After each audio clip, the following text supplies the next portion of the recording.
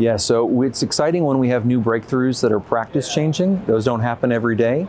And thankfully now in large cell lymphoma, we've had that kind of paradigm shift in the second line treatment for our patients.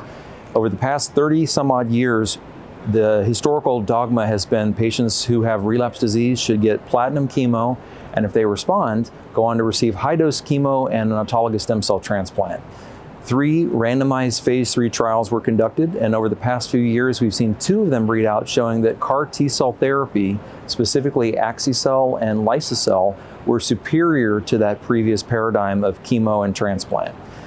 Last uh, few months ago, we showed that Axi-cel is actually superior with an overall survival advantage, a statistically significant overall survival advantage over chemo and transplant. That's the first time in nearly 30 years that we've seen an overall survival advantage. And so now the standard of care in countries that have access to CAR T cell is no longer giving chemo in second line and transplant. Now it's giving CAR T cell. And so we've changed the algorithm from what used to be considered is the patient eligible for transplant or ineligible for transplant, now to be asking the question, how long ago was first line therapy?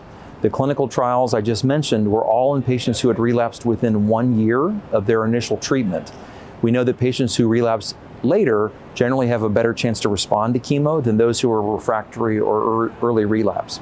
So the algorithm now is looking at patients who have an early relapse. If you're within one year, the preferred approach is CAR T cell therapy.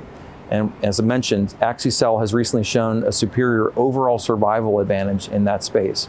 If you're beyond one year, then the question is, are you eligible for chemo and transplant? And we think that with this approach, this updated new algorithm, which Dr. Laurie Sehn and I published in Blood in 2022, that we think that this will allow more people to receive curative intent therapy.